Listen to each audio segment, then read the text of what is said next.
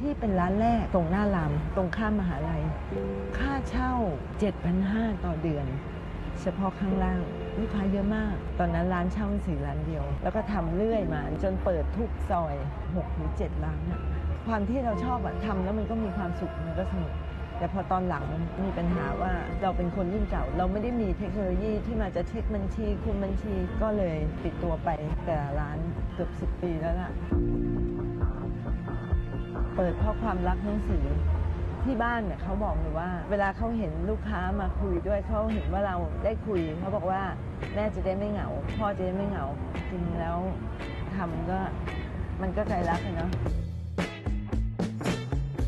เราก็ต้องแนะนำก็คือดูไปไล่ๆว่า พอเขาหยิบอันนี้แล้วเออมีอันนี้นะชีวจิตเหรอหมอชาวบ้านก็มีนะคะ เล่มนี้หมอชาวบ้านดี อย่างฉบับที่แล้วเนี่ยเป็นการเดินหมื่นเก้าที่จะช่วยสุขภาพเหลือครับหมดหรือยังครับ ลูกค้าให้การตอบรับเยอะมาก แต่ต้องบอกค่ะ เพราะว่าวางอยู่เฉยๆก็แค่นั้น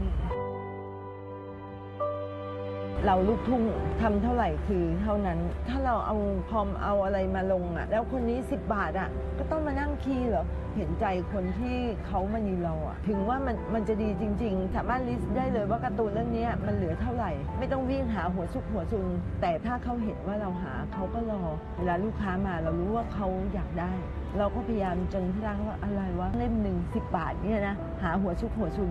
แล้วบอกคนเขาอยากได้ อยากได้หนังสือถ้าไม่เหลือบากกว่าแรง เราก็พยายามจะหาให้เขาที่เราเก็บไอ้หนังสือพิมพ์ บางคนมา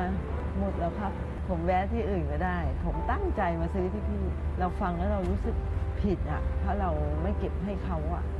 มันเป็นคุณค่าทางจิตใจอะ ไม่ได้ขายตามราคาปกค่ะ ที่นี่ลดราคาหนังสือมา 30-40 ปี แล้วลดมานานแล้ว ลูกค้าเข้าใจว่าพอดอกหญ้ามาเปิดเราถึงลดราคาเราบอกไม่ใช่ เราเปิดก่อนดอกหญ้า แล้วเราลดราคามาตั้งนานแล้ว ถึงตอนนี้เศรษฐกิจก็ไม่ดีค่าใช้จ่ายก็เยอะ แต่พอมาเห็นหน้ากันแล้ว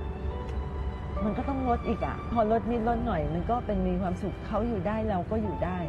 ถึงตอนนี้เราเลือดซิบๆเราก็ยัง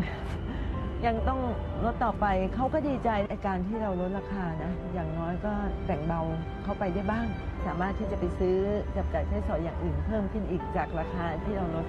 บางคนบอกเลยไม่ต้องลดราคานะ ผมมาช่วยอุดหนุนเนี่ยไม่ต้องลดก็ได้ แต่เราไม่ได้ค่ะ เพราะยิ่งมาช่วยอุดหนุนเราเนี่ยถึงยังไงเราก็จะต้องลดราคาให้ความที่ รักกันมานาน เขาก็บอกว่าบางทีผมไปซื้อที่ห้างก็ได้ แต่ผมว่าผมช่วยร้านข้างนอกให้อยู่ได้ว่าโอ้โหแค่เราฟังเนี่ยมันเป็นคุณค่าทางจิตใจอะ่ะบางคนกลับจากเมืองนอกหมูพี่ยังอยู่เหรอครับ ดีใจจังเลย ซึ่งเราฟังแล้วก็เออ อิ่มเอมใจพูดแล้วขนลุกเลยผลกำไรถ้าถามว่าไม่หวังผลกำไร มันก็เป็นไปไม่ได้ เพราะมันต้องมีค่าใช้จ่าย แต่ถ้าจะให้มากมายมันก็คงเป็นไม่ใช่ โชคดีอย่างที่เราแก่แล้ว เราไม่เที่ยว เราไม่เล่นเราไม่แต่งตัว เราไม่มีค่าใช้จ่ายตรงนั้น เพราะฉะนั้นเราก็เลยมาใส่ใจตรงหนังสือที่ไม่ได้ว่าต้องผลกำไรมากมาย ตอนนี้แทบจะบอกเลยว่าไม่มีกำไรกัน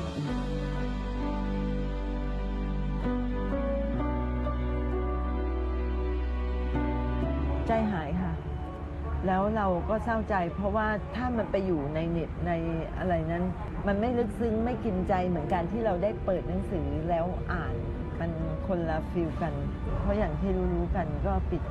แล้วมันเป็นโดมิโนสมมุติว่าเราเป็นคนขายเก่ง แต่ถ้าลูกค้าไม่เข้ามาหาเรา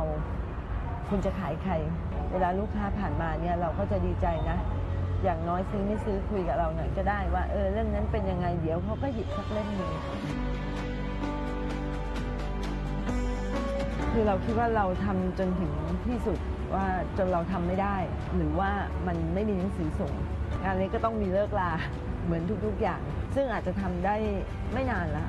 เพราะว่าหนึ่งคืออายุเราก็เยอะ แต่อย่างน้อยพอทำก็เพื่อที่เราจะได้เออซึมซับมันไปก่อน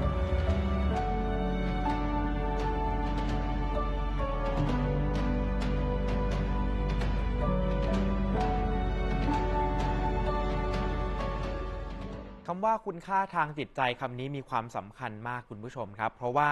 ทุกสิ่งทุกอย่างมีคุณค่าในตัวเองนะครับ คุณค่าถ้าเกิดว่าหากนับจากเม็ดเงินอาจจะลดลงไปบ้าง แต่คุณค่าทางจิตใจอาจจะเพิ่มขึ้นสูงนะครับ เมื่อสักครู่นี้เราคุยกันนะครับคุณต๊อบตอนสมัยเด็กๆเนี่ยเราก็ชอบอ่านหนังสือ ครับพอเติบโตขึ้นมาเนี่ยแน่นอนวิถีชีวิตมันเปลี่ยนไป อาจจะอ่านจากแท็บเล็ตเพิ่มมากขึ้น อ่านจากคอมอ่านจากโทรศัพท์มือถือ แต่บางอย่างเนี่ยเราก็ยังอยากจะอ่านจากหนังสือนะครับอย่างเช่น หนังสือกับการ์ตูนเล่มครับโปรดครับ หรือว่าอาจจะเป็นหนังสือบางอย่างอย่างผมเนี่ยตอนสมัยเรียนสะสมหนังสือเกี่ยวกับเครื่องบินอ่า อ่าวันหนึ่งเนี่ยก็รู้สึกว่า หนังสือเหล่านั้นไม่มีคุณค่าเพิ่มมากขึ้นครับนะ ถ้าเกิดว่าผ่านไป 10 ปี 20 ปี เราสามารถเอากลับมาย้อนกลับมาดูอีกครั้งหนึ่งความทรงจำเราก็จะกลับมาอีกครั้งหนึ่งได้เหมือนจกัน ริง ๆ แล้วเนี่ยด้วยเทคโนโลยีมันทำให้เราสะดวกขึ้นนะคครัรับบแต่คุณค่าทางจิตใจอย่างที่พี่เรสได้บอกไว้เมื่อสักครู่นี้เนี่ยมันอาจจะแตกต่างกัน และอย่างที่บอกไว้นะครับถึงแม้ว่าโลกมันจะเปลี่ยนผ่านไปแค่ไหนนะครับแต่สิ่งหนึ่งที่มันยังคงคลาสสิกเนี่ยก็ยังคงอยู่ได้ ถ้าเราให้คุณค่ากับมันดังนั้น ไม่มีถูกไม่มีผิดครับ การให้คุณค่ากับสิ่งที่เราชอบนั้นถูกต้องเสมอครับ